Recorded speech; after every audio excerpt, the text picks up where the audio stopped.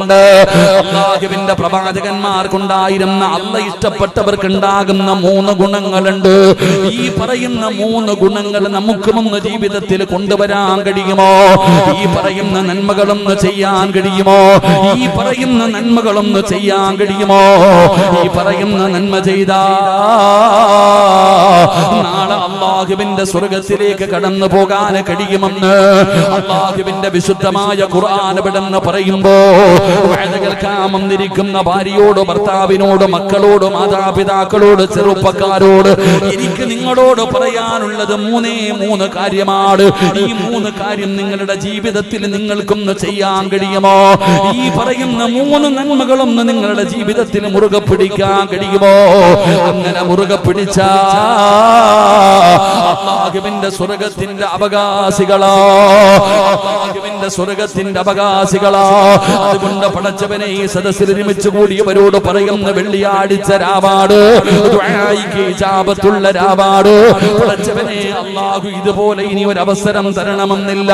അതുകൊണ്ട് പടച്ചവനെ അവിടെയും ഇവിടെയും ദൂരെ മാറി നിൽക്കുന്നവരോട് പറയുകയാ ഇത് ദുനിയാവിലെ സ്വർഗമാ ഇത് ദുനിയാവിലെ സ്വർഗമാ ഞാൻ പറയാൻ പോകുന്നത് മരണത്തിന് ശേഷമുള്ള സ്വർഗത്തെ കുറിച്ചാ അതുകൊണ്ട് പുറത്തും റോഡിന്റെ പരിസരത്ത് നിൽക്കുന്നവരോട് പറയുകയാ ആദ്യം നീ ദുനിയാവിലെ സ്വർഗത്തിൽ കേറ്.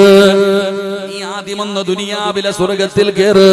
ഈ സ്വർഗത്തിൽ കേറിയ ആഖിറത്തിലെ സ്വർഗത്തിലേക്ക് കടന്നു പോകാനുള്ള അവസരം അല്ലാഹു നിനക്ക് തരികയാ.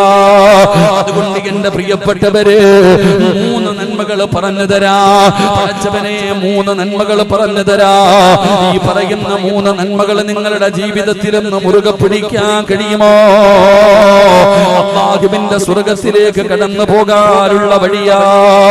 എന്റെ പ്രിയപ്പെട്ടവരെ ഒന്നാമത്തെ കാര്യമെന്താ? അള്ളാഹുവിന്റെ വിശുദ്ധമായ ഖുർആൻ പറയുകയാ. നമ്മുടെ ജീവിതത്തിൽ ഉണ്ടാകേണ്ട ഒന്നാമത്തെ ഗുണമെന്തെന്നറിയുമോ? ഇന്നഹും കാനോ. യുസാരിഊന ഫിൽ ഖൈറാത്ത്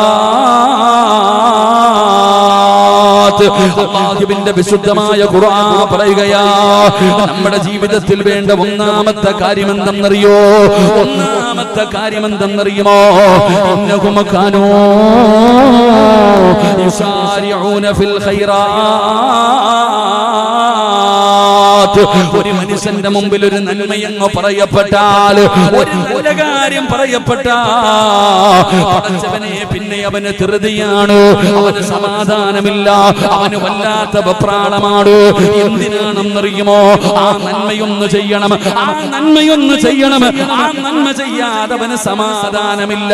ആ പറയപ്പെട്ട കാര്യം ഉസ്താദന്മാര് പറഞ്ഞതാകട്ടെ വേദന കേട്ടതാകട്ടെ അത് നിസ്കാരമാകട്ടെ ഖുർആനിലെ ആയത്താകട്ടെ ദിക്കറുകളാകട്ടെ എന്തുമാകട്ടെ ഒരു നന്മ പറഞ്ഞ? പിന്നെ ധൃതിയാടോ? പിന്നെ ധൃതിയാടോ? പടച്ചവനെ അവർക്ക് സമാധാനമില്ല. അത് ചെയ്യാതെ അവർക്ക് സമാധാനം കിട്ടൂല. പടച്ചവനെ വല്ലാത്ത ധൃതിയാട് ഇന്നഹും കാനോ യുസാരിഊന ഫിൽ ഖൈറാത്ത് നന്മയിൽ മത്സരിക്കുന്നവർ നന്മയിൽ മത്സരിക്കുന്നവർ. എന്റെ പ്രിയപ്പെട്ടവരെ അത് പ്രവാചകന്മാരുടെ ഒരു ഗുണമായിരുന്നു. അല്ല ഇഷ്ടപ്പെട്ടവർക്ക് ഉണ്ടാകുന്ന ഒരു ഗുണമാണ്. ഒരു ഉദാഹരണം പറയട്ടെ. മഹാനായ ഖലീലുല്ലാഹി ഇബ്രാഹിം നബി അലിഹിസലാം അല്ലാഹുവിന്റെ പ്രവാചകനായ ഇബ്രാഹിം നബി അലിഹിസലാം ഇഹ്തത ഇബ്രാഹിം വഹുവ ഇബ്നു സമാനീന സനാ അള്ളാഹുവിന്റെ പ്രവാചകനായ ഖലീലുല്ലാഹി ഇബ്രാഹിം നബി അലൈഹിസ്സലാം ഇബ്രാഹിം നബി അലൈഹിസ്സലാമിന് 80 വയസ്സ് പൂർത്തിയായി. ഇബ്രാഹിം നബിക്ക് 80 വയസ്സുണ്ട്. ആ 80 വയസ്സുള്ള ഇബ്രാഹിം നബി അലൈഹിസ്സലാമിനോട് അള്ളാഹുവിന്റെ കൽപ്പന വരുന്നു ഇബ്രാഹിം നബിയേ. കല്യാണം നടത്തണം നബിയേ. ലോകത്ത് ആദ്യമായിട്ട് ഇബ്രാഹിം നബിയുടെ മുമ്പിലാണ് അള്ളാഹുവിന്റെ ഭാഗത്ത് നിന്ന് വഹി വരികയാ. സുന്നത്ത് കല്യാണം നടത്താൻ മാർക്ക കല്യാണം നടത്താൻ എങ്ങനെയാണ് നടത്തേണ്ടതെന്നറിയില്ല. എങ്ങനെയാണ് ചെയ്യേണ്ടതെന്നറിയില്ല. അള്ളാഹുവിന്റെ ഭാഗത്ത് നിന്ന് കൽപ്പന വരികയാ. അള്ളാഹുവേ.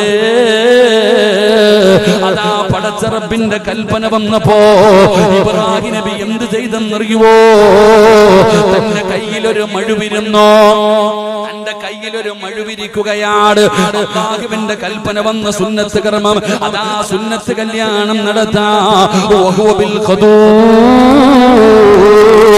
ഇബ്രാഹിം നബിയുടെ കയ്യിലൊരു മഴുവിരിക്കുകയാണ് ആ മഴുവ് കൊണ്ട് സ്വന്തമായിട്ട് ഇബ്രാഹിം നബി അലി സുന്നത്ത് കല്യാണം നടത്തി. മഹാനായ മുഖറബുൽ അംലാക്കും മലക്ക് ജിബിരീൽ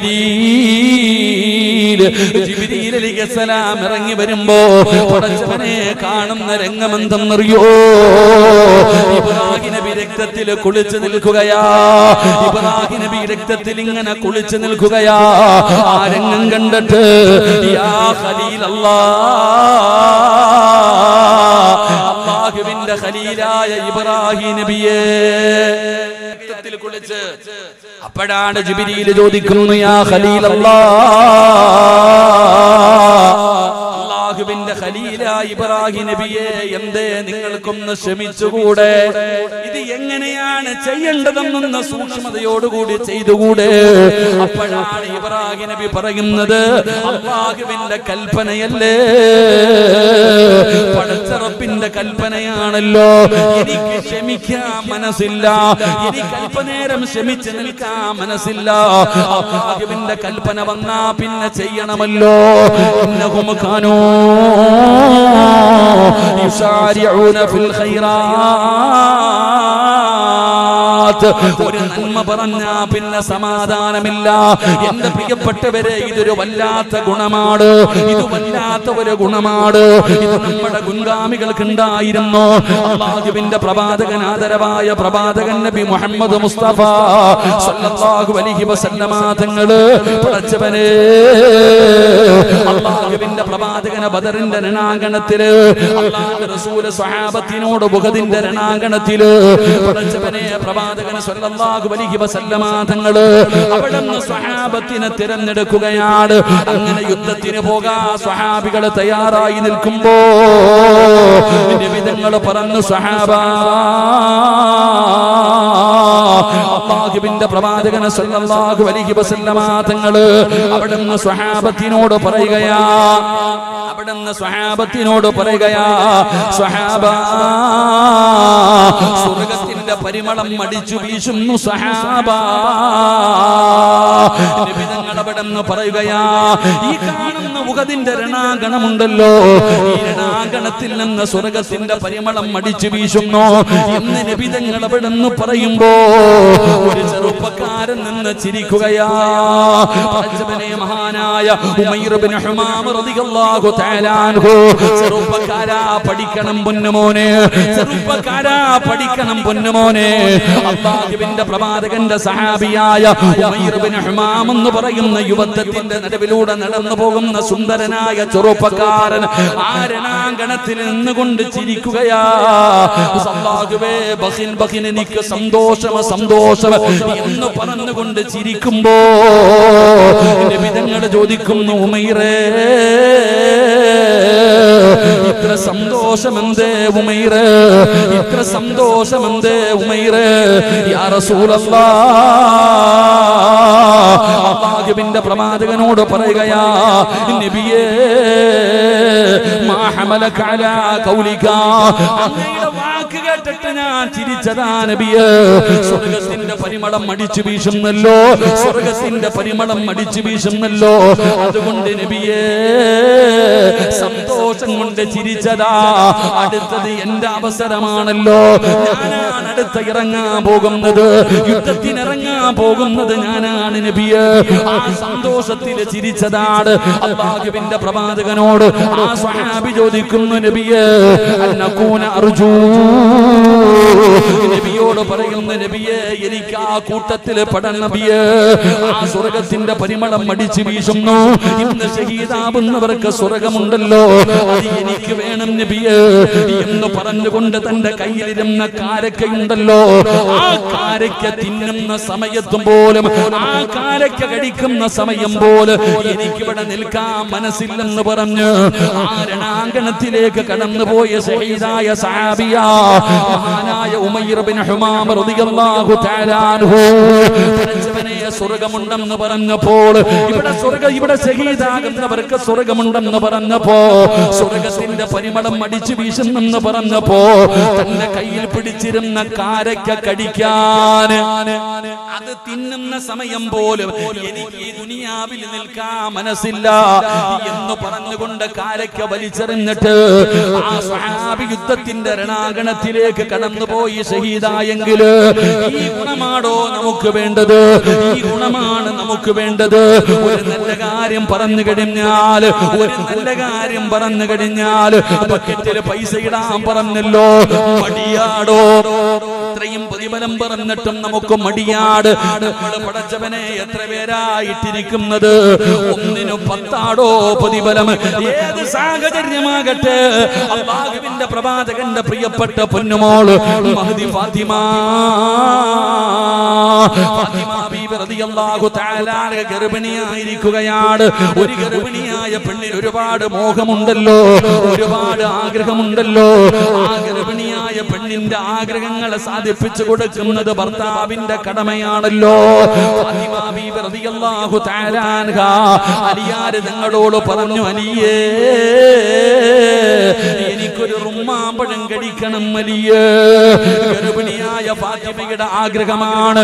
ഒരു റുമ്മാമ്പഴം കഴിക്കണം ഒരു റുമ്മാമ്പഴം കഴിക്കണം. ഭാര്യയുടെ ആഗ്രഹമാണല്ലോ ഗർഭിണിയായ ഭാര്യയുടെ മോഹമാണല്ലോ. മഹാനായ സയ്യിദുന അലി ഇബ്നു അബീ ത്വാലിബ് റളിയല്ലാഹു തആല അൻഹു റുമ്മാമ്പഴം വാങ്ങാൻ പോകുകയാണ്. പടച്ചവനെ അങ്ങനെ റുമ്മാമ്പഴവും വാങ്ങിച്ചിട്ട് തിരിച്ചു വരുമ്പോ ഒരു പാവപ്പെട്ട മനുഷ്യൻ കടന്നു വരികയാണ്. ഒരു ദരിദ്രനായ മനുഷ്യൻ കടന്നു വരികയാണ്. അലിയേ. ഭക്ഷണം കഴിച്ചിട്ട് ദിവസങ്ങളായലിയേ വല്ലാത്ത പട്ടിണിയാലിയേ. കഴിക്കാൻ എന്തെങ്കിലും തരുമോ അലിയേ ഞങ്ങളുടെ കയ്യിൽ റുമ്മാമ്പണം ഇരിക്കുകയാണ്. ഇത് എന്തിനെ കൊണ്ടുപോകുന്നതാണ്? തന്റെ പ്രിയപ്പെട്ട ഭാര്യ ഗർഭിണിയാണ്. ആ ഗർഭിണിയായ പെണ്ണിന്റെ ആഗ്രഹമാണ് റുമ്മാമ്പഴം കഴിക്കണമെന്ന്. അത് കൊടുക്കുന്നതിന് വേണ്ടി കൊണ്ടുപോകുന്ന വഴിയിലാ ഈ മനുഷ്യൻ ചോദിക്കുന്നത്. അലിയേ തന്നാൽ അതിന്റെ പത്തിരട്ടി അല്ല തരുമെന്ന് ഖുർആൻ പറയുകയാ.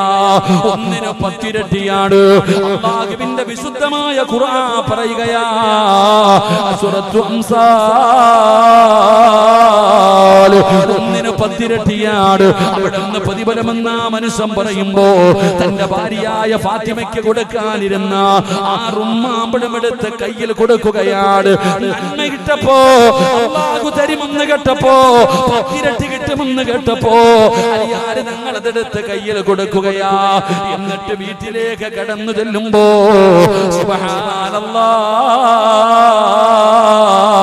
ഒരു കുട്ട നിറയെ ഉമ്മാമ്പഴം അള്ളാഹു ഫാത്തിമയ്ക്ക് കൊടുത്തില്ലേ പെങ്ങൾ? ഇതാണ് ഒരു നന്മ പറഞ്ഞാൽ അത് എന്തുമാകട്ടെ? അത് നിസ്കാരത്തിന്റെ കാര്യമാകട്ടെ ഖുർആൻ ഓതുന്ന കാര്യമാകട്ടെ ദിക്റുകൾ പറയുന്ന കാര്യമാകട്ടെ സലാത്തുകൾ പറയുന്ന കാര്യമാകട്ടെ സതക്ക കൊടുക്കുന്ന കാര്യമാകട്ടെ അത് ചെറുതാകട്ടെ വലുതാകട്ടെ ഒരു നന്മ പറയപ്പെട്ടാൽ നിങ്ങൾ മത്സരിക്കണേ നിങ്ങൾ മത്സരിക്കണേ. മഹാനായ ആദരവായ പ്രവാചകൻ നബി മുഹമ്മദ് മുസ്തഫ തങ്ങൾ ഒരിക്കൽ അല്ലാഹുവിന്റെ പ്രവാചകൻ പറഞ്ഞു സഹാബ നബി തങ്ങൾ പറയുകയാണ് അല്ലാഹുവിന്റെ ദീനിന് ആവശ്യമുണ്ട് നിങ്ങളുടെ വീട്ടിലുള്ളത് എടുത്തു കൊണ്ടുവാ അല്ലാഹുവിന്റെ പ്രവാചകൻ പറയുമ്പോ സഹാബത്ത് മുഴുവനും ഇറങ്ങി ഓടുകയാണ് അവരവരുടെ വീടുകളിലേക്ക് കടന്നു തന്നിട്ട് ഉള്ളതല്ലാന്റെ ദീനിന് വേണ്ടി എടുത്തു കൊണ്ടുവരുമ്പോ ചിന്തിക്കുന്നു അല്ലാ എപ്പോഴും അബൂബക്കറാണ് ജയിക്കുന്നത്. തങ്ങൾ വിചാരിച്ചു പടച്ചവനെ എന്തു പറഞ്ഞാലും അബൂബക്കറ ഒന്നാമത് വരുന്നത്. ഈ പ്രാവശ്യം അബൂബക്കർ തങ്ങളെ എനിക്ക് തോൽപ്പിക്കണം. മഹാനായ ഉമർബുൽ ഖത്താബ് റതിയല്ലാഹു തനക്ക് തന്റെ വീട്ടിൽ പോയി സമ്പാദ്യം മുഴുവൻ എടുത്തു. എന്നിട്ട് പകുതി മാറ്റി വെച്ചു പകുതി എടുത്തുകൊണ്ട് ഇലാ ഹദറത്ത് റസൂലില്ല സ്വല്ലല്ലാഹു അലൈഹി വസല്ലം. നബി തങ്ങളുടെ മുമ്പിലേക്ക് കടന്നു വന്നു. ഇത് പറയാനുള്ള കാരണം അബൂബക്കർ തങ്ങളുടെ സ്വഭാവം അങ്ങനെയാണ്. ഒരു ദിവസം അള്ളാഹുവിന്റെ പ്രവാചകൻ സല്ലല്ലാഹു അലൈഹി വസല്ലമ തങ്ങൾ സുബഹി നമസ്കാരം കഴിഞ്ഞ സഹാബത്തിന്റെ എതിരെ തിരിഞ്ഞിരുന്നിട്ട് ചോദിച്ചു മൻ അസ്ബഹ മിൻകുമുൽ യൗമ സായിമ ഇന്നത്തെ ദിവസം നോമ്പ് പിടിച്ച ആരുണ്ട് ഇന്നത്തെ ദിവസം നോമ്പ് പിടിച്ച ആരുണ്ട് അബൂബക്കർ സിദ്ദീഖ് റളിയല്ലാഹു പറഞ്ഞു എന്താ യാ റസൂലല്ലാഹ് നബിയെ എനിക്കിന്ന് നോമ്പാണ് നബി തങ്ങളുടെ രണ്ടാമത്തെ ചോദ്യം ഇന്നത്തെ ദിവസം ജനാസയിൽ പങ്കെടുത്ത ആരെങ്കിലും ഉണ്ടോ? അബൂബക്കർ തങ്ങൾ പറഞ്ഞു ഞാനുണ്ട് നബിയെ. ഇന്ന് ആർക്കെങ്കിലും ഭക്ഷണം കൊടുത്ത ആരെങ്കിലും ഉണ്ടോ? ഞാനുണ്ട് നബിയെ.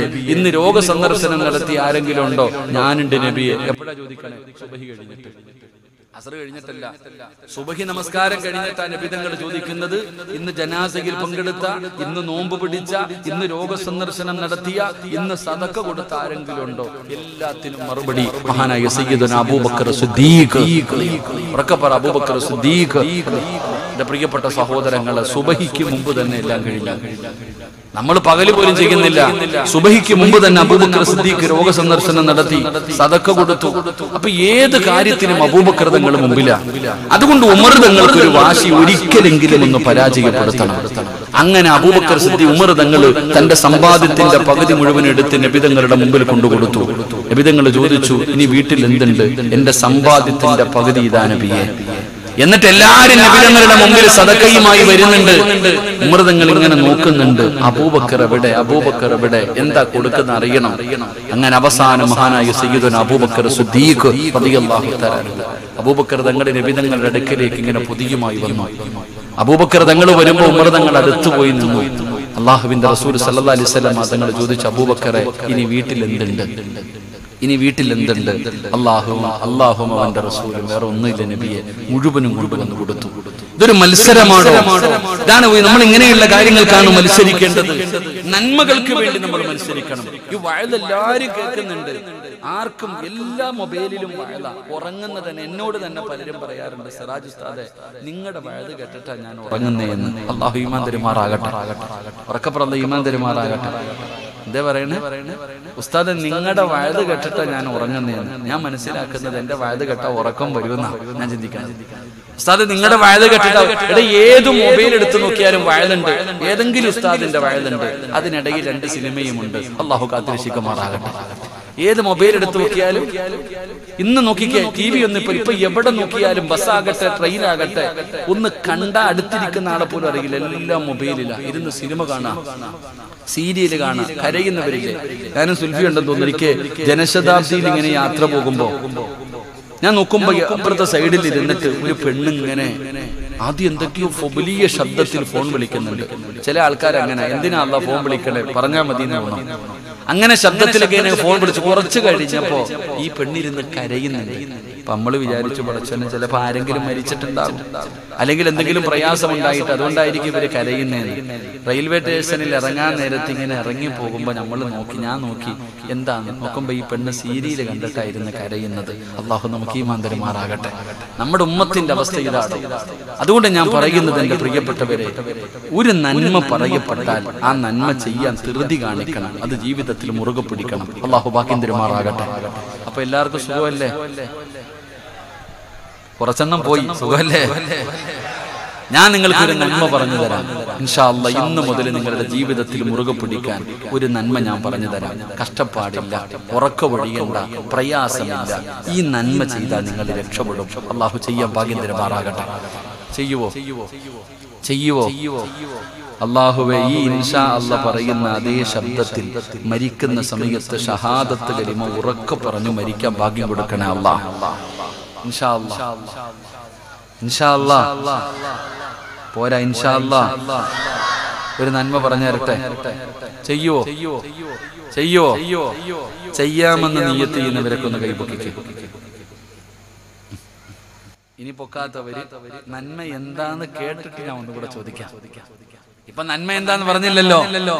നന്മ എന്താണെന്ന് ഞാൻ പറഞ്ഞില്ലല്ലോ. എന്റെ പ്രിയപ്പെട്ടവരെ ഞാൻ നിങ്ങൾക്കൊരു നന്മ പറഞ്ഞു തരാം.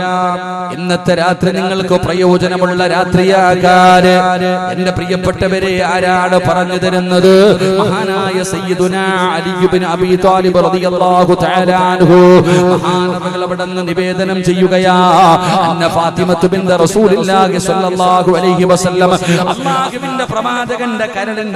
കഷ്ടമായ ഫാത്തിമ ബീവി റളിയല്ലാഹു തആല അൻഹയെ തൊട്ട് അലിയാർ അലിയാര് തങ്ങൾ പറയുകയാണ്. തങ്ങളെ അല്ലാഹുവിന്റെ പ്രവാചകന്റെ പൊന്നുമോളും തന്റെ പ്രിയപ്പെട്ട ഭർത്താവ് അലിബിൻ അബി താലിബ് റളിയല്ലാഹു തആല അൻഹു രണ്ടുപേരും അവിടെ നിന്ന് ജീവിക്കുകയാണ്. അവരുടെ കുടുംബ ജീവിതത്തെ കുറിച്ച് നമ്മൾ പഠിച്ചവരാണ്. അവരുടെ കുടുംബ ജീവിതത്തെ കുറിച്ച് നമ്മൾ പഠിച്ചവരാ. പടച്ചവനെ ഫാത്തിമ ബീവിക്ക് വല്ലാത്ത കഷ്ടപ്പാടാ. അലിയാര് നിങ്ങൾ ഗൾഫുകാരനല്ല ഒരുപാട് സമ്പത്തുള്ളവനല്ല പാവപ്പെട്ടവനാണ്. പടച്ചവനെ അറിയാതെ തങ്ങളുടെ ജോലി എന്തെന്നറിയോ? ആദ്യമൊക്കെ പടച്ചവനെ പുല്ല് കെട്ടിയിട്ട് ഒട്ടകമുള്ള വീട്ടിൽ കൊണ്ടുപോയി കൊടുത്തിട്ട് കിട്ടുന്ന പൈസ കൊണ്ട് ജീവിച്ച പാവപ്പെട്ടവരാ. പടച്ചവനെ അറിയാതെ തങ്ങൾ അവസാനമല്ല. വീട്ടിൽ മാവ് കുടയ്ക്കുകയാണ്. മാവ് കൊണ്ട് റൊട്ടി ഉണ്ടാക്കി. പടച്ചവനെ മാവ് പൊടിച്ചിട്ട് അതുകൊണ്ടുണ്ടാക്കുന്ന വസ്തുക്കൾ കൊണ്ട് വിൽക്കുന്ന കുടുംബമാണ് ഫാത്തിമയുടെ കുടുംബം വല്ലാത്ത ജോലിയാ പെങ്ങൾ വല്ലാത്ത കഷ്ടപ്പാടാ പെങ്ങൾ. എന്റെ പ്രിയപ്പെട്ട സഹോദരിമാര് പഠിക്കണം. അതാ വീട്ടിൽ ചോറ് വെക്കുന്നതിനും കറി വെക്കുന്നതിനും തുണി കഴുകുന്നതിനും വീട് തൂക്കുന്നതിനും സങ്കടപ്പെടുന്ന പെണ്ണുങ്ങളുണ്ടല്ലോ. പരാതി പറയുന്ന പെണ്ണുങ്ങളുണ്ടല്ലോ. നിങ്ങൾ ജോലി ചെയ്യുന്നില്ല എന്ന് ഞാൻ പറയുന്നില്ല. നിങ്ങൾക്ക് കഷ്ടപ്പാടില്ലെന്ന് ഞാൻ പറയുന്നില്ല. നിങ്ങളെ നീ പഠിക്കണം. നീ അറിഞ്ഞിരിക്കേണ്ട ചില നന്മകളുണ്ട്. അള്ളാഹുവിന്റെ പ്രവാചകന്റെ പൊന്നാര മകളുടെ കൈ പൊട്ടിയിടിയിരിക്കുകയാ അള്ളാഹുവിന്റെ റസൂലിന്റെ പൊന്നാര മകളായ ഫാത്തിമ ബീബി റളിയല്ലാഹു തആല ആരാ ഫാത്തിമ എന്നറിയുമോ?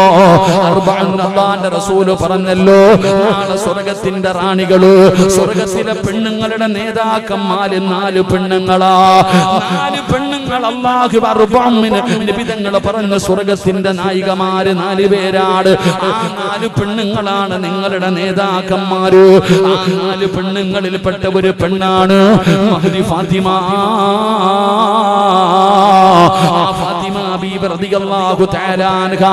പടച്ചവനെ ആട്ടുകല്ല് കൊണ്ട് അരി പിടിച്ച് അരി പിടിച്ച്. ആ അരി ഇങ്ങനെ പൊടിച്ചിട്ട് രണ്ട് കൈയും പൊട്ടിയിരിക്കുകയാണ് നിങ്ങളെ ചിന്തിക്കും ഉസ്താദെ അത് എങ്ങനെ പൊട്ടാനാണ്? ഫാത്തിമയ്ക്ക് സമയമില്ലടോ. ഫാത്തിമയ്ക്ക് സമയമില്ല. നിന്നെ പോലെയല്ല ഫാത്തിമ. നീ പഠിക്കും നീ എപ്പോഴും പറയും സമയമില്ല സമയമില്ല. എന്റെ ജോലി എന്താണെന്ന് ആർക്കും അറിയില്ലല്ലോ.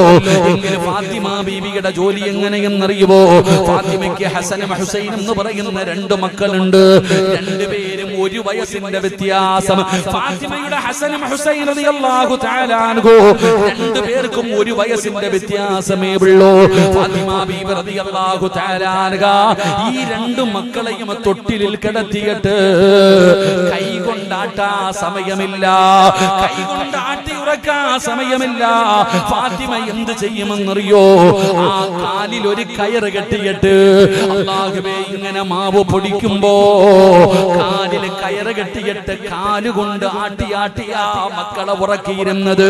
നിങ്ങൾക്ക് ചരിത്രമെടുത്ത് വായിച്ചു നോക്കാം. ഇത് സീരിയലിന്റെ കഥയല്ല. ഇത് സിനിമ കഥയല്ല. അള്ളാഹുവിന്റെ റസൂലിന്റെ കരളിന്റെ കഷ്ടമായ ഫാത്തിമ ബീബി റളിയല്ലാഹു തആല കുടുംബ ജീവിതമാണ് പറയുന്നത്. പടച്ചവനെ മാവ് പൊടിച്ചു പൊടിച്ച് ഫാത്തിമയുടെ കൈ പൊട്ടിയിരിക്കുകയാ. ഫാത്തിമ ബീബി റളിയല്ലാഹു തആല അൻഹ. പടച്ചവനെ വാപ്പാനെ കാണാൻ പോവുകയാണ്. അലിയാര് ഞങ്ങളോട് സങ്കടം പറഞ്ഞപ്പോ പൊട്ടിയ കൈ കാണി കുടിച്ചിട്ട് സങ്കടം പറയുമ്പോ അള്ളാഹുവിന്റെ പ്രവാചകം പറഞ്ഞു നബി തങ്ങളുടെ മകളതാ ഭർത്താവിനെ കൈ കാണിച്ചു കൊടുത്തിട്ട് പറഞ്ഞു എന്റെ കൈപൊട്ടി വല്ലാത്ത പ്രയാസമാ. സങ്കടത്തിലിരിക്കുന്ന ഫാത്തിമയെ കണ്ടപ്പോ അലിയാര് തങ്ങൾ പറഞ്ഞു ഫാത്തിമ വീട്ടിൽ ചെന്നിട്ട് വാപ്പയോട് പറ ഒരടിമയെ തരാറ് ഒരുപാട് അടിമകളുണ്ടല്ലോ. നീ ചോദിച്ച വാപ്പ നിനക്കൊരു അടിമയെ തന്നാൽ വീട്ടിലെ ജോലികൾ ചെയ്യിപ്പിക്കാമല്ലോ. നിനക്കൊരു സഹായമാകുമല്ലോ. അതുകൊണ്ട് നീ ചെന്നിട്ട് നിബിതങ്ങളോട് അടിമയെ ചോദിക്കൂ. അങ്ങനെ അള്ളാഹുബിന്റെ റസൂലെന്ന പിതാവിനെ കാണാൻ പോകുകയാ. നബിതങ്ങളെ തെരഞ്ഞു പോകുമ്പോ ഫാത്തിമ ചെല്ലുമ്പോ വാപ്പ വീട്ടിലില്ല. അള്ളാന്റെ റസൂൽ എവിടോ പോയിരിക്കുകയാണ്. ഫാത്തിമ ബീബി റളിയല്ലാഹു തആല അൻഹ. ഉമ്മയായ ആയിഷ ബീബി റളിയല്ലാഹു തആല തന്റെ കൈ കാണിച്ചു കൊടുത്തിട്ട് സങ്കടം പറഞ്ഞു ഉമ്മ വാപ്പ വരുമ്പോ എന്റെ അവസ്ഥയൊന്ന് പറയണേ. ഒരടിമയെ തരാ പറയട് ഒരടിമയെ തരാ പറയട് ഫാത്തിമ സങ്കടപ്പെട്ടുകൊണ്ട് അമ്മയായ ആയിഷാ ബീബി റളിയല്ലാഹു തആല അൻഹയോട് അവിടുന്ന് കൈ കാണിച്ചു കൊടുത്തിട്ട് സങ്കടം പറഞ്ഞ് തിരിച്ചു വരികയാണ്. പടച്ചവനെ നബിതങ്ങളെന്ന് വീട്ടിൽ വന്നപ്പോ താമസിക്കുകയാ. ഒരുപാട് താമസിച്ചാണ് നബിതങ്ങൾ വന്നത്. അള്ളാഹുബിന്റെ പ്രവാചകനോട് പറഞ്ഞു കൊടുത്തു യാ റസൂലല്ലാഹ് നബിയേ വന്നിരുന്നു നബിയേ.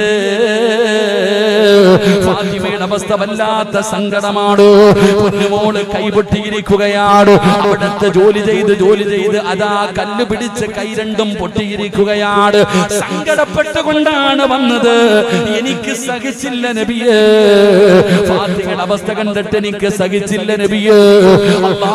പ്രവാചകനോട് റളിയല്ലാഹു പറഞ്ഞു കൊടുക്കുമ്പോ നിബിതങ്ങൾ ആ രാത്രിയിൽ എഴുന്നേറ്റടോ.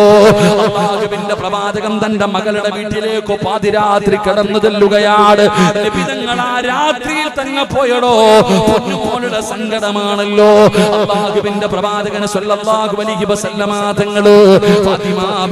വീട്ടിൽ ചെന്ന് രാത്രി അവിടെ നിന്ന് വിളിക്കുകയാ രണ്ടുപേരും ഉറങ്ങാൻ കിടന്നു? രണ്ടുപേരും ഉറങ്ങാൻ കിടന്നു? ഫാത്തിമ ബീവി അവിടെ നിന്ന് വാതിൽ തുറന്നു. അള്ളാഹുവിന്റെ പ്രവാചകൻ കടന്നു ചെല്ലുമ്പോ അലിയാരിതങ്ങളെ കിടക്കുകയാണ്. നബിതങ്ങൾ പറഞ്ഞു അവിടെ ഇരിക്കലിയ ആ കിരിക്കുന്ന വിരിപ്പിൽ തന്നെ ഇരിക്കലിയ പിടിച്ചടുത്തിരുത്തി. എന്നിട്ടും ഭാര്യയും ഭർത്താവിനോടും പൊന്നാര മകളുടെ കൈ പിടിച്ചിട്ട് അള്ളാന്റെ റസൂൽ പറഞ്ഞു കൊടുത്ത മറുപടി എന്തെന്നറിയോ? ഈ കടപ്പുറത്ത് വാഴ കാമെന്ന വാപ്പമാരെ. ഒരു വാപ്പ എങ്ങനെയാകണമെന്ന് പഠിക്കൂ. പെൺമക്കളുള്ള ഉപ്പമാര് പഠിക്കേണ്ടതാണ്. മകൾക്ക് ഭർത്താവിന്റെ വീട്ടിലെ പല പ്രയാസങ്ങളും കാണും. കഷ്ടപ്പാടിന്റെ കഥ പറയും. നിന്റെ മരുമകൻ സമ്പന്നനാകണമെന്നില്ല. അവന് പാവപ്പെട്ടവനാകാ.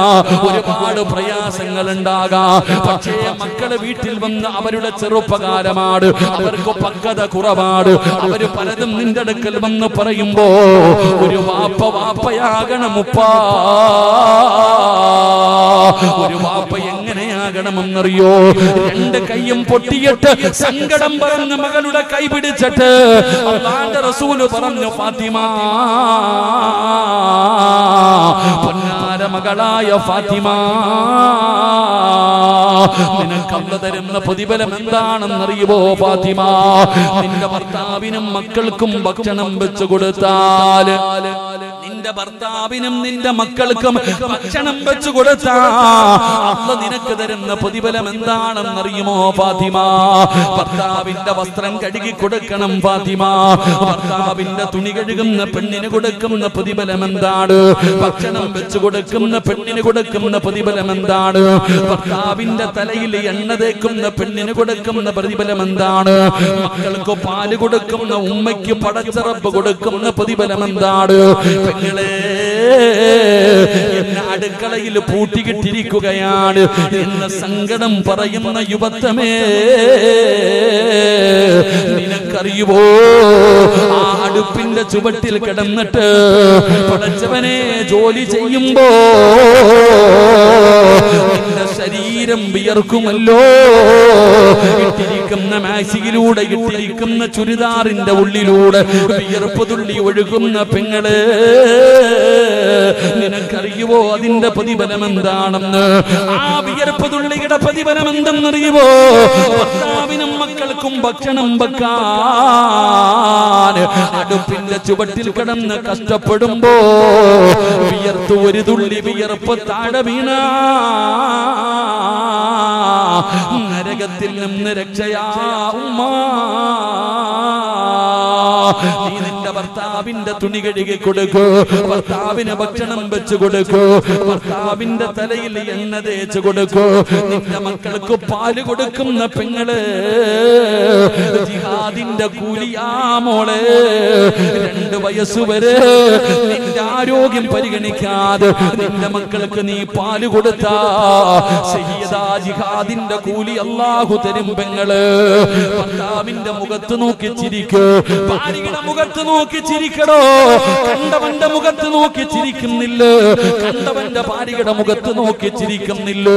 എങ്കിലും വാഴകടിഞ്ഞ് വാഴ കടിഞ്ഞ് വീട്ടിലേക്ക് കടന്നു ചെല്ലുമ്പോൾ നിന്റെ പ്രിയപ്പെട്ട ഭാര്യയുടെ മുഖത്ത് നോക്കി ഒന്ന് ചിരിക്കാൻ പറ്റുമോ? പെങ്ങളെ നിനക്കും മടിയാ മോളെ. ഭർത്താവിന്റെ മുഖത്ത് നോക്കിയിട്ട് ചിരിക്കാൻ നിനക്കും മടിയാ. എന്റെ പ്രിയപ്പെട്ടവരെ അങ്ങനെ ചിരിക്കണം പെങ്ങൾ. ഭർത്താവിന്റെ മുഖത്ത് നോക്കിയിട്ട് പരിഹസിക്കലല്ല. കളിയാക്കലല്ല. ആത്മാർത്ഥമായി സ്നേഹത്തോടെ നിന്റെ ഭർത്താവിന്റെ മുഖത്ത് നോക്കി ഒന്ന് പുഞ്ചിരിക്ക്. അതാ ജോലി കഴിഞ്ഞ് കടലിൽ പോയി മീൻ പിടിച്ച് വിയർത്തൊലിച്ച് വൈകുന്നേര സമയത്ത് ശരീരം തളർന്നുകൊണ്ട് വീട്ടിലേക്ക് കയറി വരുന്ന ഭർത്താവിന് വീടിന്റെ കവാടത്തിൽ കാത്തു നിന്നിട്ട് വീട്ടിലേക്ക് ക്ഷീണിച്ച് കടന്നു വരുന്ന ഭർത്താവിനെ പുഞ്ചിരിക്കുന്ന മുഖത്തോടെ സലാം പറഞ്ഞ് സ്വീകരിച്ച് വീട്ടിലേക്ക് കയറി വരുമ്പോ നിന്റെ ചുമലിൽ കിടക്കുന്ന നിന്റെ തലയിൽ കിടക്കുന്ന ഷാളിന്റെ ഒരു തുമ്പെടുത്ത് ഭർത്താവിന്റെ നെറ്റിത്തടമൊന്ന് തുടച്ചു കൊടുക്ക്. പെങ്ങളെ ഇതിനാണ് കുടുംബ ജീവിതം എന്ന് പറയുന്നത്. അതുകൊണ്ട് അള്ളാഹുവിന്റെ പ്രവാചകനോട് എന്റെ പൊന്നാര മകളായ അൻഹ കൈ കാണിച്ചു കൊടുത്തിട്ട് പറയുകയാണ്. അള്ളാന്റെ റസൂല കൈ പിടിച്ചിട്ട് ഫാത്തിമയോട് പറയുന്നു ഫാത്തിമ വീട്ടിൽ വന്ന് അടിമയെ ചോദിച്ചല്ലോ. എങ്കിൽ നിനക്ക് പ്രയോജനം ചെയ്യുന്ന ഒരു നന്മ ഞാൻ പറഞ്ഞു തരട്ടെയോ? സ്വർഗത്തിലേക്ക് കടന്നു പോകാറ്?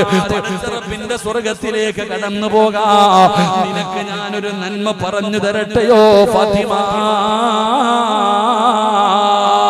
അലിയാൽ ഞങ്ങൾ അടുത്തിരിക്കുന്നുണ്ട്. പറഞ്ഞതാ വാപ്പാ. പറഞ്ഞതാ വാപ്പാ. വീട്ടുജോലിയിൽ കഷ്ടപ്പെട്ട് കൈപൊട്ടിയിരുന്ന പൊന്നുമോൾ പരാതി പറഞ്ഞപ്പോ ഒരടിമയെ ചോദിച്ചപ്പോ അള്ളാന്റെ റസൂൽ പറഞ്ഞു കൊടുത്ത നന്മ എന്തെന്നറിയുവോ? ഫാത്തിമ അടിമയെ കിട്ടുന്നതിനേക്കാൾ നിനക്ക് പ്രയോജനമുള്ള അള്ളാന്റെ സ്വർഗത്തിലേക്ക് കടന്നു പോകാൻ കഴിയുന്ന ഒരു നന്മ ഞാൻ പറഞ്ഞു തരട്ടെയോ? പറഞ്ഞു നിബിതങ്ങൾ പറഞ്ഞു കൊടുത്തു ഫാത്തിമ. കിടന്നുറങ്ങുന്നതിന് മുമ്പ് സുബഹാനല്ലാ. അൽഹംദുലില്ലാ. അല്ലാഹു അക്ബർ 33 പ്രാവശ്യം സുബ്ഹാനല്ലാ 33 പ്രാവശ്യം അൽഹംദുലില്ലാ 33 പ്രാവശ്യം അല്ലാഹു അക്ബർ എന്ന് പറ ഫാത്തിമ അത് നിനക്ക് പ്രയോജനമുണ്ടെന്ന് നബി മുഹമ്മദ് മുസ്തഫ സല്ലല്ലാഹു അലൈഹി വസല്ലമ തങ്ങൾ പറയുമ്പോ പെങ്ങളെ അലിയാര് തങ്ങൾ പറയുകയാ ഫമാ തറക്തുഹാ بعد سمعتها من رسول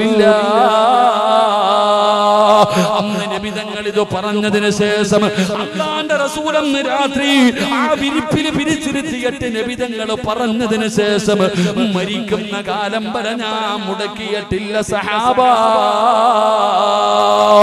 മരിക്കുന്ന കാലം വരെ അലിയാര് ഞങ്ങളത് മുടക്കിയിട്ടില്ല ഫാത്തിമ ബീബി അത് മുടക്കിയിട്ടില്ല. അള്ളാഹുവിന്റെ ഖുർആൻ പറഞ്ഞു ഇന്നഹും കാനൂ ഇസാരിയോന ഫിൽ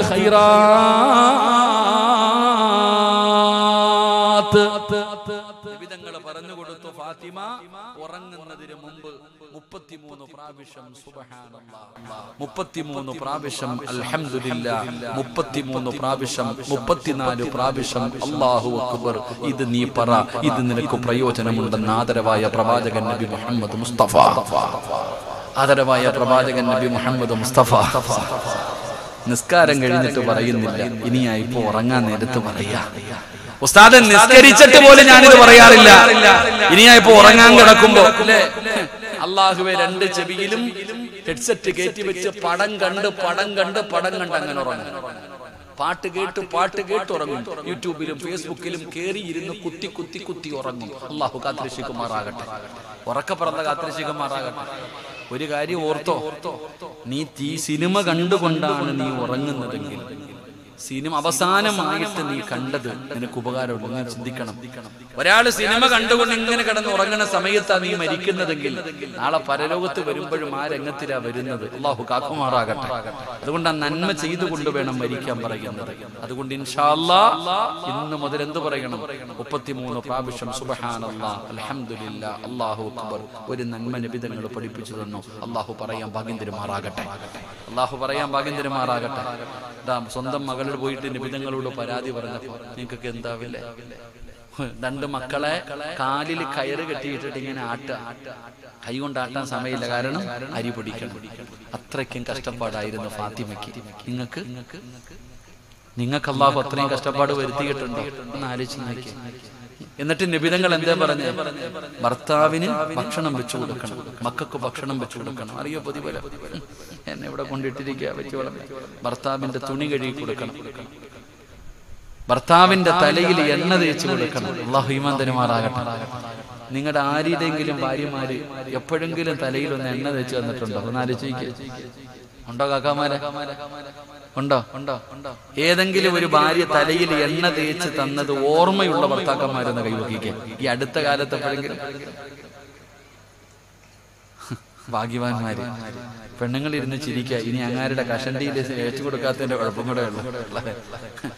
ഇപ്പോഴും ഒന്നും കൂടെ കെട്ടാൻ നടക്കുക. ഇനി എണ്ണയല്ല തേച്ചു കൊടുക്കുന്നു അള്ളാഹു അള്ളാഹു നമുക്ക് ഈ മന്ദിരമാറാകട്ടെ ഓ, എന്ത് പ്രതിഫലം എന്നറിയോ അതാ ജീവിതം. വലിയ പ്രതിഫലം ഇന്ന് ഈ വാപ്പമാര് പഠിക്കണമെന്നറിയോ? ഇന്ന് പല ഭാര്യക്കും ഭർത്താവിനും ഒരുമിച്ച് ജീവിക്കണമെന്ന് ആഗ്രഹമുണ്ട്. ഇന്ന് ഇന്ന് ഏറ്റവും കൂടുതൽ ഇന്ന് വിവാഹമോചനം നടക്കാനുള്ള കാരണം പെണ്ണും പയ്യനുമല്ല കുടുംബക്കാരാണ് എടാ പെണ്ണിനും ആണിനും ജീവിക്കാൻ ആഗ്രഹമുണ്ട്.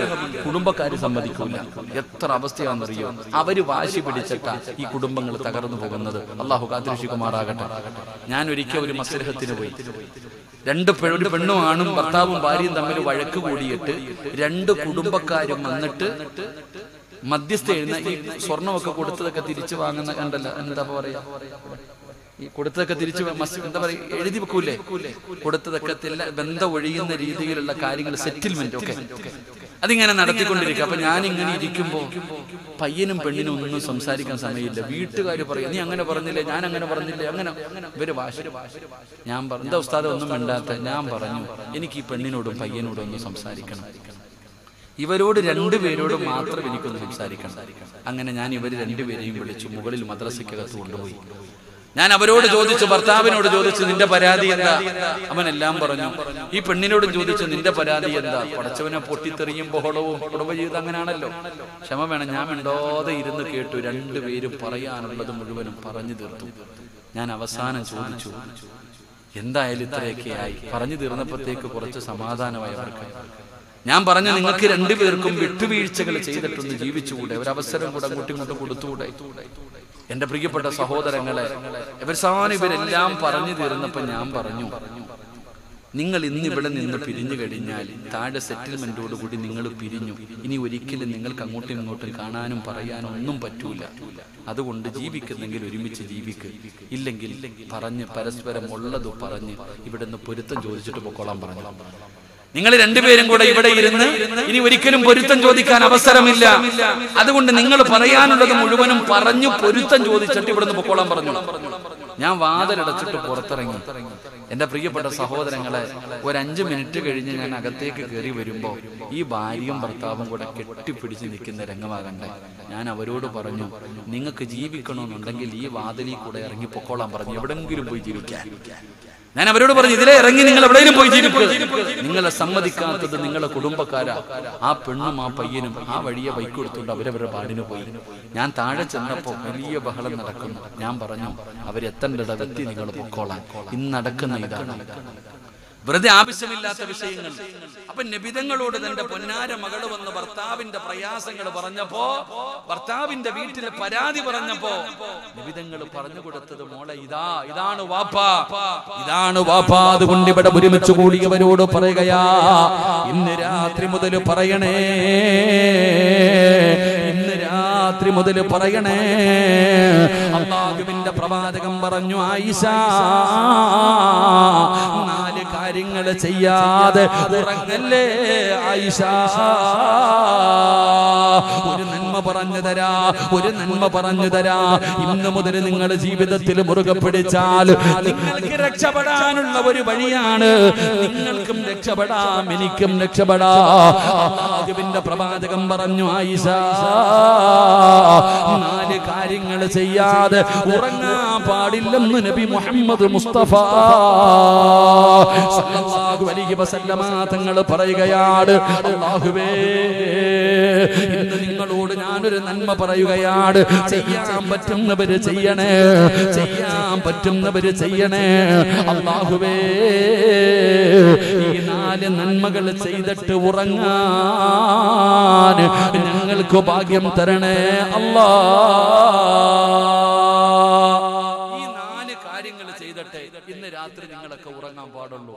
ഭാഗ്യം തരുമാറാകട്ടെ. അള്ളാഹു ഭാഗ്യം തരുമാറാകട്ടെ. ഇൻഷാ അല്ലാ ചെയ്തൂടെ? ചെയ്തൂടെ? ഇൻഷാ അല്ലാ ചെയ്തൂടെ? പറഞ്ഞരട്ടെ. വേണോ വേണ്ടേ? വേണോ വേണ്ടേ? വിശക്കുന്നവൻ ആഹാരം കൊടുത്തിട്ടേ കാര്യമുള്ളൂ. വയറ് നിറഞ്ഞിരിക്കുന്നവന് മട്ടൻ മന്തി കൊടുത്തിട്ടും കാര്യമില്ല. വേണോ വേണ്ടേ? വേണോ എന്നുള്ളവരൊക്കെ ഒന്ന് കൈപ്പൊക്കി അലഹമില്ല പതിനൊന്ന് മണിവരെ അവിടെ ഇരിക്കും. അവസാനം പറഞ്ഞു തരാം. അള്ളാഹു ഭാഗ്യം തരുമാറാകട്ടെ. ആദ്യം ക്ഷമ വേണമല്ലോ. അത് വയത് കഴിഞ്ഞു ഞാൻ പറയാൻ മറന്നു മറന്നുപോയാലും നിങ്ങൾ എന്നോട് ചോദിക്കണം. ഞാൻ പറയാൻ വിട്ടുപോയാലും നിങ്ങൾ എന്നോട് ചോദിക്കണം അള്ളാഹു നമുക്ക് ഭാഗ്യം തരുമാറാകട്ടെ. എന്റെ പ്രിയപ്പെട്ട സഹോദരങ്ങളെ അപ്പോൾ നാളെ സ്വർഗത്തിൽ പോകാനുള്ള ഒന്നാമത്തെ വഴി എന്താ? ഒരു നന്മ നിന്റെ മുമ്പിൽ പറയപ്പെട്ടാൽ പിന്നെ നിനക്ക് ധൃതിയാണ് എങ്ങനെയെങ്കിലും അത് ചെയ്യണം. അത് ചെയ്യാതെ നിനക്ക് സമാധാനമില്ല. ഇങ്ങനെ ഒരു സ്വഭാവമാണ് നമുക്ക് വേണ്ടത്. അള്ളാഹുവേ ആ സ്വഭാവം നിങ്ങൾക്ക് നൽകണേ. അല്ലാ. എന്റെ പ്രിയപ്പെട്ടവരെ രണ്ടാമത്തെ ഗുണമെന്താണ്? വിശദീകരിക്കുന്നില്ല. രണ്ടാമത്തെ ഗുണമെന്താ? അള്ളാഹുവിന്റെ റസൂൽ പറയുന്നു അള്ളാന്റെ വിശുദ്ധമായ ഖുർആൻ പറയുകയാ ഇന്നഹും കാനൂ യുസാരിഊന ഫിൽ ഖൈറാത്ത്. രണ്ട് വയദൂനനാ റഗബൻ വറഹബാ. രണ്ടാമത്തെ കാര്യം എന്തെന്നറിയോ രണ്ടാമത്തെ കാര്യം എന്തെന്നറിയോ പടച്ചവനെ അവർ അള്ളാഹുവിനോട് ചെയ്യുകയാണ്. അവർ അള്ളാഹുവിനോട് ചെയ്യുകയാണ്. ഏറ്റവും പ്രയാസകരമായ സമയങ്ങളിൽ വളരെ ബുദ്ധിമുട്ടിന്റെ സമയത്ത് ഏത് പ്രതിസന്ധിയിലും ഏത് പ്രതിസന്ധിയിലും എന്ത് ബുദ്ധിമുട്ട് വന്നാലും അവർ അള്ളാഹുവിനോട് ചെയ്യുകയാ. പടച്ചവനോട് അവർ ചെയ്യുകയാണ് അവർ അള്ളാഹുവിൽ പ്രതീക്ഷ വെക്കുന്നവരാണ്. അവർ പടച്ചിറപ്പിൽ പ്രതീക്ഷ വെക്കുന്നവരാണ്.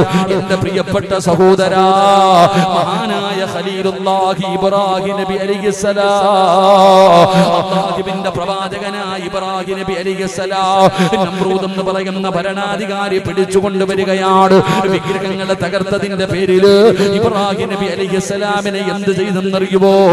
അതാകുവേ അവിടെ കത്തിക്കാൻ തീരുമാനിച്ചു. തീ കുണ്ടാരത്തിലേക്ക് വലിച്ചെറിയാൻ തീരുമാനിച്ചു. അങ്ങനെ ജനങ്ങൾ മുഴുവനും വിറക് ശേഖരിച്ചു കൊണ്ടുവരികയാണ്. പലരും നേർച്ച ചെയ്തടോ? പലരും ചെയ്യുകയാ എന്റെ രോഗം മാറണാൻ. പടച്ചവനെ അവർ നേർച്ച ചെയ്തു ഇബ്രാഹിമിനെ കത്തിക്കാനുള്ള തീയിലേക്ക് വിറകു കൊടുക്ക. അങ്ങനെ ഭയാനകമായ ഒരു തീക്കുണ്ടാരമുണ്ടാക്കുകയാണ്. ഖുർആൻ പറഞ്ഞതെന്തെന്നറിയോ? ആ തീക്കുണ്ടാരത്തിന്റെ മുകളിലൂടെ പറന്നു പോകുന്ന പറവകൾ പോലും കടിഞ്ഞു വീഴുന്ന രീതിയിൽ ഭയാനകമായ തീക്കുണ്ടാരമുണ്ടാക്കി. അടുത്തു പോകാൻ പറ്റുന്നില്ല. ഇബ്രാഹിം നബി അലിസ്ലാമിനെ പിടിച്ചുകൊണ്ട് വന്ന് കയ്യും കാലും കെട്ടിയിട്ട് അമ്പും വില്ലും തയ്യാറാക്കി മുകളിൽ കയറ്റി നിർത്തിയിരിക്കുകയാ. അമ്പും വില്ലും തയ്യാറാക്കി മുകളിൽ കയറ്റി നിർത്തിയിരിക്കുകയാണ്. എഴുതുവിടാൻ എഴുതുവിടുന്നതിന് വേണ്ടി ഇബ്രാഹിം നബി അലിസ്ലാമിനെ ആ തീക്കുണ്ടാരത്തിലേക്ക് എയ്തു വിടാൻ പോകുമ്പോ അതാ വരുന്ന മുക്കറബുൽ അംലാക്കും മലക്ക് ജിബിരീൽ. ജിബിരീൽ അലൈഹിസ്സലാം ഇറങ്ങി വരികയാണ്. ഇബ്രാഹിം നബിയേ ഈ കാണുന്ന തീക്കുണ്ടാരം അണച്ചു കളഞ്ഞിട്ട് അങ്ങയെ ഞാൻ രക്ഷപ്പെടുത്തട്ടെ ഒന്നനുവാദം തരുമോ? ഒന്നനുവാദം തരുമോ? ഇബ്രാഹിം നബി പറഞ്ഞ മറുപടി എന്തെന്നറിയുമോ? നിന്റെ സഹായം എനിക്ക് വേണ്ട. എന്നെ പടച്ച റബ്ബുണ്ടല്ലോ.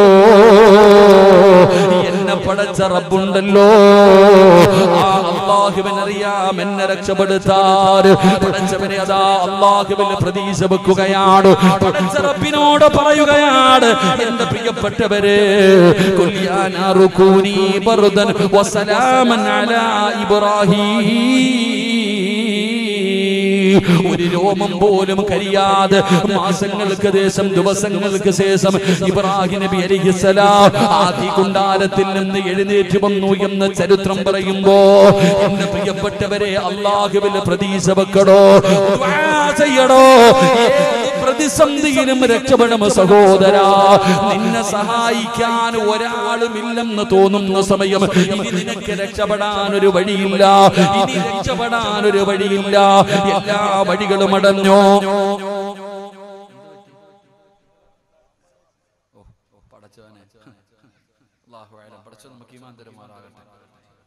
ഒരിക്കേ ഉസ്താദ് ക്ലാസ് എടുത്തുകൊണ്ടിരിക്കുമ്പോ പേര് ഞാൻ മറന്നു. ഇമാം മാലിക് തങ്ങളാണെന്ന് തോന്നുന്നു. ഉസ്താദ് ക്ലാസ് എടുത്തുകൊണ്ട് നബിതങ്ങളുടെ ഹദീസ് പഠിപ്പിച്ചുകൊണ്ടിരിക്കുക.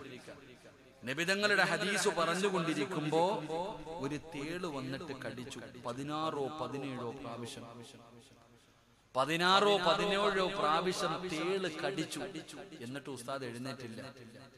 അപ്പൊ കുട്ടികൾ പഠിപ്പിച്ചു കഴിഞ്ഞപ്പോ ചോദിച്ചു എന്തേ എഴുതാക്കാനാണ് നബിതങ്ങളുടെ ഹദീസ് ഞാൻ പറഞ്ഞുകൊണ്ടിരിക്കുക. അള്ളാഹുവിന്റെ പ്രവാചകൻ അലൈഹി വസല്ലമ തങ്ങളുടെ ഹദീസ് ഞാൻ പറഞ്ഞുകൊണ്ടിരിക്കുകയാണ്. ആ ഹദീസ് പകുതിയിൽ നിർത്തുന്നത് പേടിച്ചിട്ടാ ഞാൻ എഴുന്നേക്കാതിരുന്നത്. അള്ളാഹു നമുക്ക് ഈ മന്ത്രമാറാകട്ടെ തേളാബങ്ങളെ പാമ്പൊന്നുമല്ല ഇനി ഇവിടെ ഇരുന്ന് മരിക്കാൻ വിധിയുണ്ടെങ്കിൽ ഹാപ്പി ആയിക്കോ ഷഹീദിന്റെ കൂലിയാണ്. അള്ളാഹു നമുക്ക് ഈ ഒന്നും പറ്റൂല അതെന്റെ വഴിക്ക് പൊക്കോളൂ. നിങ്ങൾ കാര്യമാക്കണ്ട അള്ളാഹു നമുക്ക് ഈ ഞാൻ പറഞ്ഞത് ഏത് പ്രതിസന്ധിയുടെ സമയത്തും ഇനി ആരും നമ്മളെ സഹായിക്കാനില്ല. രക്ഷപ്പെടില്ല എന്ന് കരുതുന്ന സമയം. രക്ഷപ്പെടില്ല എന്ന് കരുതുന്ന സമയം. ആ സമയത്ത് അള്ളാഹുവിനോട് ദുആ ചെയ്യണം. ആ സമയത്തും അള്ളാഹുവിനോട് ദുആ ചെയ്യണം. ഏതുപോലെ എന്നറിയുമോ? വനന്നൂനി ഇദ്ഹബു മുഗാലിബൻ ഫലന്ന. അള്ളാഹുവിന്റെ പ്രവാചകനായ സുലൈമാൻ നബി അലൈഹിസ്സലാം. സുലൈമാൻ നബി അലൈഹിസ്സലാം. കടലിൽ പിടിക്കാൻ പോകുന്നവർക്ക് ആഴമറിയുമല്ലോ. പടച്ചവനെ വല്ലാത്ത ആഴമാണ് കടലിന്. അതാ കടലിനടിയിലേക്ക് പോകും തോറും വല്ലാത്ത ഇരുട്ടാട് പടച്ചവനെ ആ കടലിൽ ജീവിക്കുന്ന ഒരു മീനാണ് തിമംഗലം എന്ന് പറയുന്നത്. അത് കടലിന്റെ ഏറ്റവും ആഴം കൂടിയ സ്ഥലങ്ങളിലാണ് തിമംഗലം ജീവിക്കുന്നത്. മഹാനായ യൂനുസ് നബി അലിഹിസലാ കടലിന്റെ അടിത്തട്ടിൽ കിടക്കുന്ന ആ തിമിംഗലം എന്ന് പറയുന്ന മീനിന്റെ വയറ്റിനകത്ത് കിടക്കുകയാണ്. ഇതിനെക്കാലം വലിയ ഒരു പരീക്ഷണമില്ല. എവിടെയാ കിടക്കുന്നത്? കടലിൽ ഏറ്റവും ആഴമുള്ള സ്ഥലത്ത്. ആഴമുള്ള സ്ഥലത്ത് കഴിയുന്ന കടലിലെ ഏറ്റവും വലിയ മീനായ തിമംഗലത്തിന്റെ വയറ്റിൽ. ആ മീനിന്റെ വയറ്റിലാണ്. സുലൈമാൻ നബി അലിഖസലാം കിടക്കുന്നത്. ആ സുലൈമാൻ നബി അലിഖസലാം എങ്ങനെ രക്ഷപ്പെടുമടോ? നിങ്ങളെ പറ അതിനകത്ത് നിന്ന് എങ്ങനെയാണ് രക്ഷപ്പെടുന്നത്? സുലൈമാൻ നബിയെ രക്ഷപ്പെടുത്താൻ ആരാവുള്ളത് ആ മീനിന്റെ വയറ്റിൽ കിടന്നിട്ട് ഏറ്റവും പ്രയാസകരമായ സമയത്ത് യൂനുസ് നബി അള്ളാനെ വിളിക്കുകയാ ഫനാദാ ഫിദ്ദുലുമാത് لا ഇലാഹ إلا أنت സുബ്ഹാനക ഇന്നി كنت മിനൽ الظالمين മഹാനായ സുലൈമാ യൂനുസ് നബി അലൈഹിസ്സലാം ആ കടലിന്റെ അടിത്തട്ടിൽ മീനിന്റെ വയറ്റിനകത്ത് കിടന്നിട്ട് ആ ഇരുളിനകത്ത് കിടന്ന് അതിനെക്കാളും ഒരു പ്രയാസം ഒരാളും അനുഭവിച്ചിട്ടില്ലടോ. ആ മീനിന്റെ വയറ്റിനകത്ത് കിടന്നിട്ട് യൂനുസ് നബി വിളിക്കുന്നു ഫനാദാ. പടച്ചറബിനെ വിളിക്കുകയാ. ലാ ഇലാഹ ഇല്ലാ അന്ത സുബ്ഹാനക ഇന്നി കുന്തു മിനൽ ളാലിമീൻ. എന്റെ പ്രിയപ്പെട്ടവരെ അള്ളാഹുവിന്റെ പ്രവാചകനായ യൂനുസ് നബി അലിഹസലാം ആ മീനിന്റെ വയറ്റിൽ കിടന്നിട്ട് പടച്ചവനെ വിളിക്കുകയാണ്. അല്ല പറഞ്ഞത് എന്തെന്നറിയോ?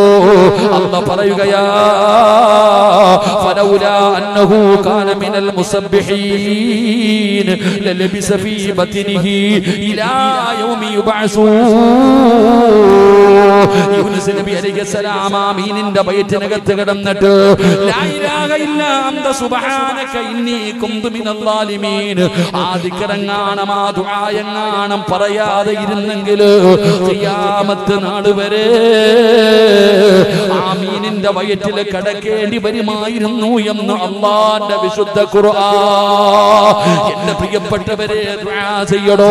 ജീവിതത്തിലെ പ്രയാസം വരുമ്പോ ജീവിതത്തിലെ ബുദ്ധിമുട്ടുകൾ വരുമ്പോ കച്ചവടം നഷ്ടത്തിലാകുമ്പോ രോഗങ്ങൾ കടന്നു വരുമ്പോ പ്രയാസങ്ങൾ കടന്നു വരുമ്പോ മക്കളില്ലാതെ വരുമ്പോ പഠിച്ചവനെ എല്ലാവരും അവനോട് ചെയ്യൂ. അള്ള കഴിവുള്ളവനാണ്. അള്ള കഴിവുള്ളവനാണ്. അള്ളാന് കഴിയാത്തതൊന്നുമില്ലല്ലോ. ആ മീനിന്റെ വയറ്റിൽ കടന്ന് ദുആ ചെയ്ത യൂനുസ് നബി അലൈഹിസ്സലാമിനെ അല്ലാഹു സുബ്ഹാനഹു വ തആല അതാ രക്ഷപ്പെടുത്തി എന്ന് പരിശുദ്ധമായ ഖുർആൻ പറയുമ്പോ ഫലസ്തീനും ഈജിപ്തും യാത്ര ചെയ്യുമ്പോ യൂനുസ് നബിയുടെ കബർ കാണാൻ പോകുമ്പോ ആ മീൻ കൊണ്ടുവന്ന് കരയിൽ കക്കി വെച്ച സ്ഥലം കാണുമടോ? എന്നതൊരു വലിയ ബീച്ചാണ്. എന്റെ പ്രിയപ്പെട്ടവരെ ഇത് ഖുർആൻ പറഞ്ഞതല്ലേ? അതുകൊണ്ട് അള്ളാഹുവിന്റെ സ്വർഗത്തിലേക്ക് കടന്നു പോകുന്ന അടിമയ്ക്ക് വേണ്ട രണ്ടാമത്തെ ഗുണമെന്തെന്നറിയോ? അവൻ അള്ളാഹുവിലെ പ്രതീക്ഷ വെക്കുന്നവനാ പടച്ചവനിലേക്ക് ചെയ്യുന്നവരാ. ഈ സദസ്സിൽ ഒരുമിച്ച് കൂടിയ വാതിന് വന്നപ്പോ പലരും പറഞ്ഞ ഒരു കാര്യം ഉസ്താദേ വിവാഹം കഴിഞ്ഞ് അഞ്ചു കൊല്ലമായി പത്തു കൊല്ലമായി മക്കളില്ല മക്കളില്ല. സങ്കടം പറഞ്ഞ ഒരുപാട് പേരുണ്ടടോ. സങ്കടം പറഞ്ഞ ഒരുപാട് പേരുണ്ടടോ. മക്കളില്ലാത്തവർക്ക് ഞാനൊരു ചരിത്രം പറഞ്ഞു തരട്ടെ. മക്കളില്ലാതെ കഷ്ടപ്പെടുന്ന ഒരുപാട് പേരുണ്ടല്ലോ. നിങ്ങൾക്ക് ഞാനൊരു ചരിത്രം പറഞ്ഞു തരാ. എന്റെ പ്രിയപ്പെട്ടവരെ മക്കളില്ലാത്തവരെ കാണുമ്പോ പെണ്ണുങ്ങൾ ചോദിക്കും ഒന്നുമായില്ലേ? ഒന്നുമായില്ലേ? സ്നേഹം കൊണ്ടല്ല പെങ്ങൾ. അതൊരു കളിയാക്കലാ. അതൊരു കളിയാക്കലാ എന്നോട് തന്നെ ഒരു സഹോദരി പറഞ്ഞു ഉസ്താദ് ഒരു ഫംഗ്ഷനും പോകില്ല കല്യാണ വീടുകളിൽ പോകില്ല ആളുകൾ കൂടുന്ന ഒരു സ്ഥലത്തും ഞാൻ പോകില്ല. എന്താണ് കാരണമെന്ന് ചോദിക്കുമ്പോ ആ പെണ്ണ് പറഞ്ഞ മറുപടി എന്തെന്നറിയോ? ഈ ചോദ്യം സഹിക്കാൻ പറ്റുന്നില്ല ഉസ്താദ്.